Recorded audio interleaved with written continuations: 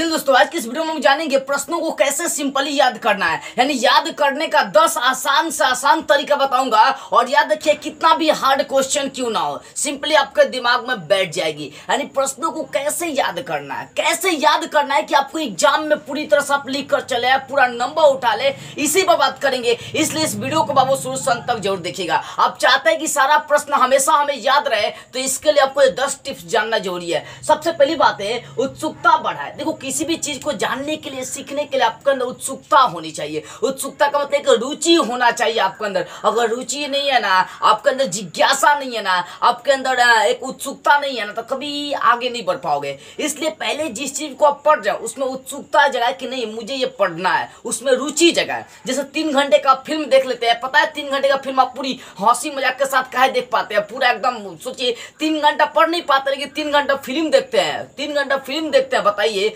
बाबू, उसमें रुचि है, तब ऐसा कर पाते हैं। तो पहले आपको यही काम करना है, रुचि जगाना पड़ेगा। किसी भी क्षेत्र में अपने आप को आगे बढ़ाना चाहते हैं, आप पढ़ाई में किसी चीज़ को याद करना चाहते हैं तो पहले उसके प्रति रुचि जगाए। अपने उत्सुकता को बढ़ाए कि नहीं, मुझे याद करना है, मुझे याद करना है, ये पहला काम करना है। और दूसरा, टेंशन मत बनाए। कई बार बच्चों को जब प्रश्न नहीं याद होता है तो वो टेंशन लेने लगता है कि बाबू, नहीं याद हो रहा है, मैं कमज़ोर हूँ, मैं बुर्बक हूँ, मैं गधा हूँ, मैं बकलोल हूँ। ये काम करना बंद कर दीजिए। टेंशन नहीं लेना, एकदम टेंशन फ्री। जो होगा सो देखा जाएगा। बिना टेंशन लिए आप याद करिए, जितना याद हो उतना याद करिए। और तीसरी बात है, समझना ध्यान से भी आगे बहुत सारी चीज़ें हैं जो आपको याद करवाएगी। शांत जगह पर ही पढ़ाई करें क्या होता है, कई बार आपके दिमाग में कोई चीज़ छपती कब है, जब शांत माहौल होती है। आप कभी शांत माहौल में पढ़ के देखिएगा और कभी दस गो बकलोल लेके आगे बीच में पढ़ के देखिएगा, कभी आगे नहीं बढ़ पाएँगे। देखो, कई बच्चों के पास क्या होता है कि अपना एक सेपरेट रूम नहीं होता पढ़ने के लिए, जिसके कारण से उनका उतना माहौल अच्छा नहीं होता, जहाँ गर्जियन होता है, वहीं पर पढ़ते हैं। और देखो, अगर दस बच्चों के सामने पढ़ोगे तो उतना पढ़ाई में मज़ा नहीं आती। जब भी पढ़ो, शांत जगह में पढ़ो, शांत माहौल में आपका पढ़ाई जो है ना, पूरा फोकस आपके दिमाग पर ही जाता है। मतलब जो भी पढ़ाई वाली चीज़ होती है, सब दिमाग में जाकर बैठ जाती है। अगर मैं बताना चाहूँ, जैसे मान लो कि आप कोई चीज़ पढ़ रहे हैं शांत माहौल में बैठ के पढ़ रहे हैं तो शांत माहौल में बैठने से क्या होता है? ज़्यादा डिस्ट्रेक्शन मतलब आपका ध्यान उतना नहीं भटकता है। सोचो, अगर चार पाँच गो लड़के के संग बैठो आप तो ध्यान भटकेगी एकदम ऑटोमेटिक ध्यान भटकेगी। अगर मोबाइल लेके आप बैठे तो ऑटोमेटिक है कि मैसेज आएगा तो आपका ध्यान भटकेगा। तो इस सब चीज़ से आपको दूर रहना है। यानी शांत जगह पर पढ़ाई करना। है उसके बाद रात को सोने से पहले पढ़े। अब मैं क्यों बोला हूँ कि अगर मान लो आप दस बजे ही सोते हैं तो सोने से पहले आप पढ़ाई करके ही सोए। अगर ग्यारह बजे सोते हैं तो ग्यारह बजे से पहले आप, आप पढ़कर ही सोए। इस ऐसा इसलिए बोल रहा हूँ ना। देखो क्या होता है ना कि हम लोग सपना किस चीज़ को देखते हैं? आप कभी कल्पना करके देखिएगा। कभी आप कल, कल्पना करके देखिए बाबू ये कि आप सोने से पहले जिस चीज़ को पढ़े रहते हैं ना चाहे जो काम किए रहते हैं ना वही सपना में आपका आता है। सपना में वही आता है। अगर सोने से पहले बढ़िया फ़िल्म देख ली फ़िल्म देख ली ईश्वरिया आई आई थी तो बाबू सपना में ईश्वरिया राय तुम्हें चली आएगी। भूत का फ़िल्म देखोगे, वही भूत सपना में चला आएगा तो सोने से पहले जो आप काम करते हैं ना बाबू, वही कामों आपका सपना में चला जाता है। इसलिए सोने से पहले आप पढ़ो। सोने से पहले क्या करो, जो चीज़ें है ना, जो आपका चैप्टर्स है, उसको क्या करो, आधा घंटा पढ़ लो। अब पढ़ने के बाद सो जाओ। वो चीज़ आपके दिमाग में कहीं ना कहीं सपना के रूप में आएगी और सपना के रूप में आएगी, फिर सुबह उठकर जब आप पढ़ेंगे तो जो चीज़ें आपको समझ में नहीं आ रही थी सोने से पहले, वो देखिएगा उठने के बाद आपको समझ में आना शुरू हो जाएगी। तो ये तरीका बहुत हंड्रेड परसेंट आपके लिए सक्सेसफुल होने वाला है कि जो चीज़ आपको नहीं समझ में आ रही है, जो चीज़ आपको नहीं याद हो रही है, सोने से ठीक आधे घंटे पहले उसके बारे में पढ़े, नहीं याद हो रही है, फिर भी उसके बारे में पढ़े, याद करने की कोशिश करें, अगर नहीं हो रही तो सो जाए, और सुबह उठकर फिर उसी चीज़ को दोहराए।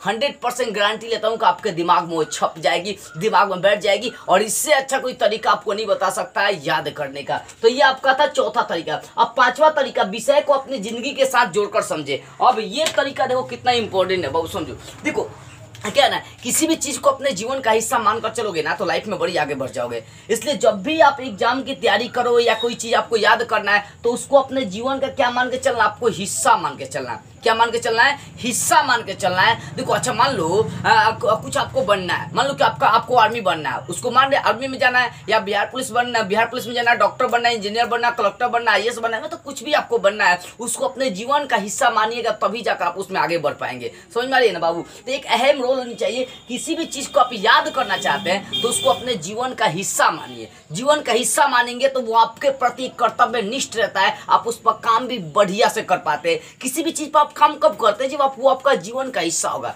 जब वो आपसे संबंधित होगा। तो कहीं ना कहीं आप पढ़ाई को भी अपने जीवन का हिस्सा मान के पढ़े, तब जाकर सारे प्रश्न आपके दिमाग में बैठ सकते हैं। और छठी बात है रिवीजन देखो, कोई भी चीज़ पर आप रिवीजन करते हैं रिवीजन करने से तीन फ़ायदे प्रश्न बहुत जल्दी याद होंगे राइटिंग सुधर जाएगी और साथ में आपका राइटिंग लिखने का स्पीड भी मेंटेन हो जाता है। मतलब रिविजन करिए। जो चीज़ आपको नहीं याद रही उसको दो चार पाँच बार लिख ना दीजिए, वो आपके दिमाग में बैठ जाए, बैठ जाएगा ऑटोमेटिक सातवीं बात है रेगुलिटी देखो रेगुलिटी का मतलब क्या होगा? रोज का रोज हमें पढ़ना है।